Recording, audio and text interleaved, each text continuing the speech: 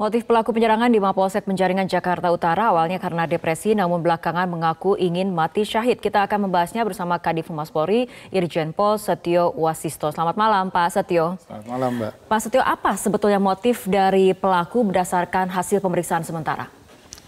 Iya, uh, setelah didalami oleh rekan-rekan khususnya dari Densus dan dari Polda Metro Jaya bahwa keterangan dari kakaknya memang yang bersangkutan Eh, dua tiga bulan terakhir ini ada kecenderungan untuk uh, menyendiri, kemudian uh, tidak mau bergaul dan apa namanya tidak ada interaksi dengan luar ya. Hmm. Nah kemudian uh, memang ada penyakit, riwayat penyakit.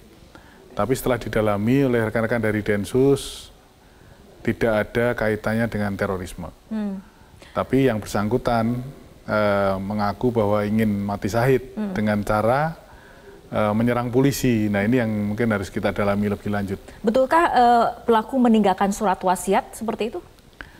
Uh, keterangan dari yang bersangkutan dan dari keluarganya ada memang. Hmm. Dan, dan di situlah kemudian keinginan kuat untuk mati syahid dicantumkan? Karena memang apa? dia merasa apa namanya, karena penyakitnya, kemudian hmm. dia sudah bekerja karena bosan keluar, ada faktor ekonomi juga dan hmm. ada faktor ya mungkin harus kita dalami lagi apakah yang bersangkutan ada tekanan-tekanan yang yang uh, menyebabkan sehingga dia ingin mati sahid dengan cara menyerang polisi. Tapi apakah ada indikasi motifnya juga dilatar belakangi oleh aksi terorisme? Begini, aksi terorisme itu kan uh, bermacam-macam. Hmm. Ya, kalau kita lihat bahwa uh, hanya aksi menyerang polisi, kemudian kita akan teliti sampai ke belakang. Keterangan dari kakaknya memang dia uh, pernah ikut ya, pernah ikut uh, satu kegiatan-kegiatan tetapi itu masih sumir kalau kita sebut dari hmm. kegiatan terorisme. Jadi kita tidak berani mengatakan uh, secara tegas bahwa ada kaitannya. Sementara kita dalami dulu. Hmm, ya. Ini sedang ada uh, ya, pendalaman seperti itu. Pendalaman. Tapi aksinya sendiri apakah memang spontan dilakukan atau sebetulnya sudah direncanakan dengan matang?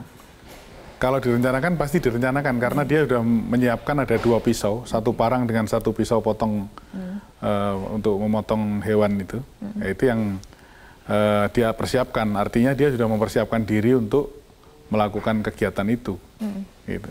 Berapa lama kemudian persiapan ini dilakukan dari hasil uh, penelusuran dan juga pemeriksaan dari polisi? Ya, dikatakan tadi keterangan dari kakaknya hmm. sebagai keluarga yang terdekat dan kakaknya sering memberikan uh, pengarahan, memberikan uh, teguran kepada yang bersangkutan untuk berbuat supaya lebih baik lah ya. Hmm.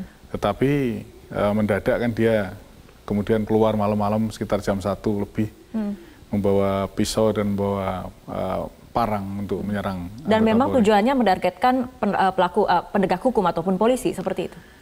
Ya dia berpikir bahwa dengan dia menyerang polisi dia hmm. akan di, dilumpuhkan sampai dengan mungkin dia sampai mati sahid hmm. mungkin itu. Dan dari situlah kenapa kemudian Densus anti teror kemudian ikut masuk menginterogasi pelaku? Saya kira semua hal yang uh, memungkinkan apakah ini terpapar aksi terorisme Densus bisa masuk. Hmm, Oke. Okay. Ya. Uh, mengenai tadi uh, dikatakan pasca penyerangan terhadap Polsek di Penjaringan ini, artinya apakah peningkatan keamanan juga segera diberlakukan untuk semua uh, markas polisi ataupun kantor kepolisian lainnya? Uh, begini, Mbak, bahwa hmm. pimpinan Polri selalu mengingatkan hmm. untuk kesiapsiagaan, hmm. ya, baik di tingkat Polsek, tingkat Polres maupun tingkat Polda hmm. dan tingkat Mabes sendiri. Hmm dan ini adalah satu warning, ya, suatu warning bagi kita uh, sebagai apa namanya untuk kesiapsiagaan tetap di harus di nomor satukan. Hmm. Di setiap mako, setiap markas, setiap kantor polisi tetap kesiapsiagaan itu nomor satu. Artinya apakah ada peningkatan keamanan Pak Setio? Uh, kalau peningkatan saya kira biasa Mbak ya, hmm. kita sudah biasa itu harus dilakukan. Itu satu prosedur yang harus dilakukan. Hmm pengamanan kalau malam hari bagaimana, okay. kalau siang hari bagaimana itu sudah ada aturannya. Oke. Selain kemudian mengamankan kantor polisi, markas yeah. polisi dari mulai Polsek dan juga Polres, bagaimana ini pengamanan untuk tingkat nasional yeah. jelang pileg dan juga oh, pilpres oh, iya. terutama Pak Setio. Tapi kita yeah. akan bahas di segmen berikutnya. Pemirsa tetaplah bersama kami. Prime Time News akan segera kembali sesaat lagi.